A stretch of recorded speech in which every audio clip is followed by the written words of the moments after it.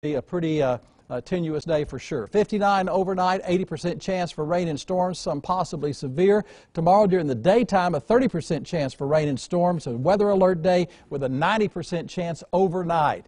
61 through the heartland tonight and a 60, 80% chance rather for rain and storms. And then tomorrow, a 20% chance during the daytime. And that weather alert day is primarily for the 80% chance overnight, Wednesday night into Thursday morning.